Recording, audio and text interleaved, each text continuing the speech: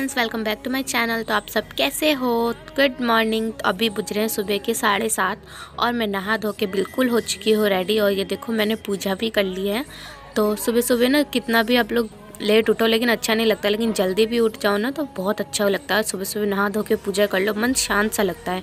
उसके बाद दोपहर हो गई थी, एक बज चुका था। हम लोग खाना वाना खा चुके थे, फिर सोचा छत पर थोड़ी देर धूप में बैठ जाए, क्योंकि हल्की हल्की ठंड आ चुकी है, धूप भी हल्की हल्की ही आती है अब।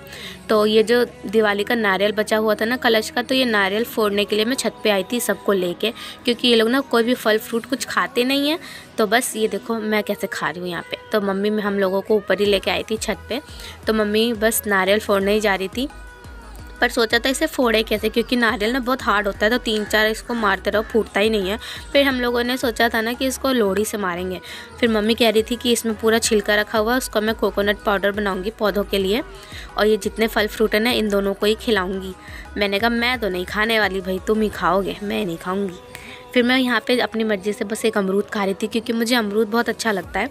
और मम्मी बस यहाँ नारियल फोड़ने की तैयारी कर रही थी, इसको देखो कैसे पुतले की तरह बैठी हुई जैसे हम इसका स्टैचू बना रहे हैं सीखा का, ऐसे पुतले की तरह बैठी हुई है। फिर मम्मी कह रही थी, अब मैं फोड़ू कि नहीं फोड़ू? मैंने कहा, तुम फोड़ लो। फिर ये देखो, मम्मी यहाँ फोड़ने लगी हल्का हल्का उतारी और ये ना बस छिलका उतारने के बाद इसे फोड़ने लगे वान ये देखो, एक ही बार में टूट गया। हम लोगों ने सोचा ही नहीं था कि फूटेगा। सोचा था, देखो, इसको ना देखो, कितने बड़े बड़े ग्लास लाई थी जैसे कितना सारा पानी निकलेगा ग्लास भर भर के। लेकिन सारा पानी तो ऐसे ही बर्बाद हो गया। और ये जो थोड़ा सा एक दो बूंद बचा ना, मम्मी खुद पी गई उसको पिलाई। और मेरे लिए तो बचा ही नहीं। लेकिन मैं बहुत हंस रही थी, एक ही बार में फूट गया इसलिए। फिर हो गई थी शाम, यहाँ पे हम लोग छत से आए, थोड़ी देर सो हो गए थे। और सुबह ही ना मैंने यहाँ चने के दाल भिगो के रखे हुए थे तीन चार घंटे, क्योंकि आज चने के दाल के पकौड़े की सब्ज़ी खाने का बहुत मन था।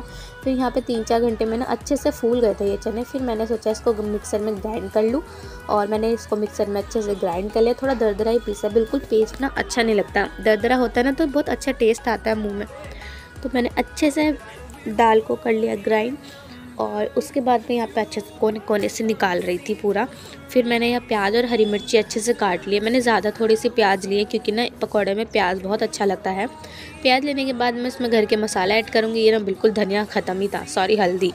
तो थोड़ा सा हल्दी डाला, एक चम्मच धनिया पाउडर। उसके बाद मैंने डाला एक चम्मच मिर्ची पाउडर। मिर्ची ना बिल्कुल तीखी नहीं थी, थोड़ा सी मिर्ची डाला क्योंकि हरी मिर्च मैंने ज़्यादा डाली थी। उसके बाद मैंने इसमें डाला दो चम्मच बेसन। बेसन डालने से ना ये होता है कि जो पकौड़ा था बिल्कुल अच्छे से कुरकुरारे हो जाते हैं चिपक भी जाते हैं मतलब कि अच्छे से बनते हैं। और फिर मैं इसमें डाल रही हूँ आधा नींबू का रस, क्योंकि नींबू का रस से ना बहुत अच्छा फ्लेवर आता है और टेस्ट भी बहुत अच्छा होता है और विटामिन सी की कमी भी जो होती है, वो शरीर में पूरी हो जाती है। उसके बाद इन सभी इंग्रेडिएंट्स को मैं अच्छे से कर लेती हूँ मिक्स मेरे को तो देखते ही पानी आने लग गया था मुँह में। और मैंने अच्छे से कर लिया मिक्स फिर मैंने गैस जलाई यहाँ पे और गैस जलाने के बाद रख दी कढ़ाई। और सबका ना बहुत ज़्यादा मन था चने के दाल के पकौड़े की सब्ज़ी खाने का, क्योंकि ना थोड़ा थोड़ा ना मौसम बहुत ठंडा हो गया और ठंड में ना चाय पकौड़े मज़ा ही आता है खा के। तो शाम के टाइम हमने गर्म गर्म चाय भी बनाई थी और पकौड़े के साथ इंजॉय किया था। यहाँ देखो मैं भर भर के तेल डाल रही थी। और तेल ना अच्छे से गर्म होने देना है, ताकि पकौड़े जो बिल्कुल अच्छे से बने। तो तेल ठंडा रहता है ना तो पकौड़े जो है ना चिप चिप से हो जाते हैं और टूट जाते हैं, इसलिए तेल को बहुत अच्छे से गर्म करना है। ताकि बिल्कुल भी पकौड़े टूटे ना और बहुत अच्छा कुरकुरारी बने। कुरकुरारी बनेंगे तभी पकौड़े टेस्टी भी लगते हैं। यहाँ मैं थोड़ा सा देख रही थी कि पकौड़, तेल गर्म हुआ है नहीं, फिर मैंने एक पकौड़े डाला और वो बिल्कुल ऊपर तक आ गया था मतलब कि तेल अच्छे से गर्म हो गया। फिर मैंने इसमें सारे के सारे एक एक करके पकौड़े डाल दिए। देखो कितना टेस्टी लग रहा था ना, मेरी मम्मी कह रही थी, जल्दी बना, मुझे तो भूख लग रही है। फिर मैंने कहा, बस बन ही गया। उसके बाद यहाँ जब तक पकौड़े बन रहे हैं मैं इसकी सब्ज़ी के लिए ग्रेवी तैयार कर रही हूँ। तो यहाँ पे मैंने लिया है एक अदरक का टुकड़ा, दो कली लहसुन और यहाँ पे जीरा है और मैं और काली मिर्च, इन दो, इन चारों को मैं अच्छे से पीस लूँगी। इससे ना बहुत ही अच्छा टेस्ट आता है। अगर आप पीसने नहीं चाहते तो कूच के भी इसे डाल सकते हो। और यहाँ ना पकौड़ा एक साइड से अच्छे से फ्राई हो गया था तो बस अब मैं इसको पलट रही हूँ ताकि दोनों साइड से अच्छे से बन जाए। पकौड़े ना तलते टाइम गैस का फ्लेम थोड़ा सा मीडियम ही रखना, नहीं तो हाई में ये जल जाता है और बिल्कुल टेस्ट भी नहीं आता और कच्चा ही रह जाता है। इसलिए मैं गैस का फ्लेम हमेशा मीडियम ही रखती हूँ पकौड़े बनाने टाइम, ताकि अच्छे से करारी भी हो जाए अच्छे से अंदर से पक भी जाए। तो बस ये बन के रेडी हो चुका है। मैंने इसको ना पलट दिया ताकि ये दूसरी साइड से भी अच्छे से पक जाए। और यहाँ पकौड़े बन के बिल्कुल अच्छे से रेडी हो गए। थोड़ी देर मैंने इसे छोड़ दिया था ताकि तेल जो है सारा नीचे निकल जाए। और पकौड़े देखो कितने क्रिस्पी क्रिस्पी बने थे ना। बहुत टेस्टी बने थे। और किस किस को चने की दाल के पकौड़े पसंद है? मुझे तो सबके पसंद है। तो आप लोग भी बताना आपको कौन कौन से पसंद है पकौड़े खाना। यहाँ पे देखो सारे पकौड़े मैंने अच्छे से तल लिए थे। उसके बाद मैंने इसी तेल में डाला साबुत खड़े मसाले जो नॉर्मली होते हैं। दस रुपये का पैकेट भी मिलता है, आप वो भी डाल सकते हो। मेरे घर में साबुत खड़े मसाले ना अलग से हम लोग ला लेके आके रखते हैं। तो मैंने वही डाला है। उसके बाद मैंने इसमें डाल दिया है जो पेस्ट मैंने बनाया था ना, अदरक, लहसुन, जीर, मरीच का, वो डाल दिया है। और सच में जब मैंने इसे डाला ना, बहुत अच्छी खुशबू आ रही थी, बहुत अच्छी स्मेल आती है।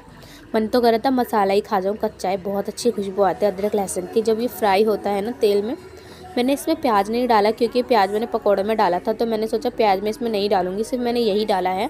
आप चाहे तो प्याज भी पीस के डाल सकते हो, उससे ग्रेवी और थिक बनेगी और अच्छी भी लगेगी, पर मैंने प्याज नहीं डाला है। आप चाहे तो प्याज स्किप भी कर सकते हो। और दो मिनट इसे भूनने के बाद मैंने इसमें डाल दिया तीन चार टमाटर, क्योंकि टमाटर के बिना तो सब्ज़ी अधूरी सी लगती है। मुझे कोई भी सब्ज़ी क्यों ही ना हो, वो नहीं हो तो कोई बात नहीं आप स्किप कर सकते हो, लेकिन हो तो उसे ज़रूर डालिए। और दो मिनट के बाद मैंने इसमें डाल दिया मसाला, क्योंकि टमाटर हल्का हल्का सॉफ्ट हो चुका था। फिर मैंने इसमें डाला एक चम्मच मिर्ची पाउडर, एक चम्मच नमक और धनिया और हल्दी। जितने घर के मसाले होते हैं, वो सब कुछ मैंने इसमें डाल दिया है। डालने के बाद इन सभी को अच्छे से कर लेंगे मिक्स इस टाइम पे ना मसाला डालने टाइम गैस का फ्लेम ना मीडियम ही रखना होता है, ताकि मसाला जले ना। और मैंने इसे अच्छे से कर लिया है मिक्स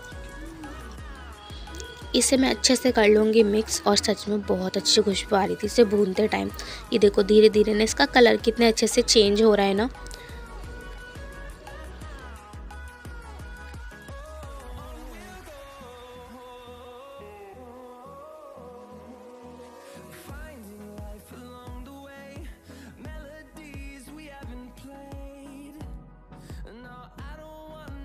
मसाला जब तक फ्राई हो रहा है, देखो सारे पकौड़े मैंने तल लिए तो लास्ट में थोड़ा सा जल गया था, पर कोई नहीं, वो हम खा ही लेंगे जैसे तैसे। पर इतना भी नहीं जला था थोड़ा सा जला था, देखो कितना क्रिस्पी लग रहा है ना, बहुत टेस्टी पकौड़े बने थे, और बहुत ही अच्छे भी लग रहे थे खाने में। उसके बाद यह मसाला बिल्कुल अच्छे से फ्राई हो चुका है तो मैं अपना फेवरेट मसाला डालूँगी, जो है गरम मसाला, वो भी एम डी इससे ना फ्लेवर और स्मेल बहुत अच्छी आती है। मुझे खुशबू बहुत पसंद है इसकी। देखो, मसाला कितने अच्छे से भुन चुका है। पूरी तेल जो है बाहर ऊपर तक आ चुका है। मसाला बिल्कुल ठीक लग रहा है। फिर भी मैं इसे थोड़ा सा चला देती हूँ ताकि और मसाला अच्छे से भुन जाए और टेस्ट बहुत ही अच्छा है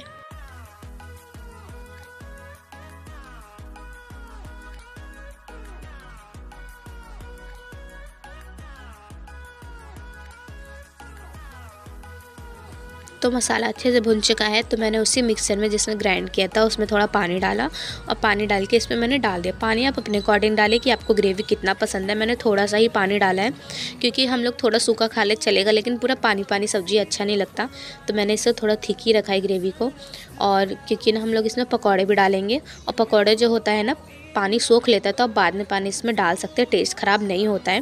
तो मैंने इसके बाद डाल दिया इसमें पकौड़े। पानी में दो तीन उबाल आ गए उसके बाद मैंने इसमें पकौड़े डाल दिए और गैस का फ्लेम बिल्कुल लो करके छोड़ दिए ताकि पकौड़े जल्दी से सॉफ्ट हो जाए, सब्ज़ी भी अच्छे से पक जाए और कच्चा कच्चा फ्लेवर भी ना आए। सब्ज़ी तो वैसे बन के रेडी ही हो चुकी है, लेकिन दो तीन मिनट और फिर मैंने इसमें धनिया डाल दी ताकि ना जब तक ये पकौड़े सॉफ्ट होंगे, धनिया का फ्लेवर भी अच्छे से आ जाएगा। बनने के बाद हम फिर से धनिया डालेंगे।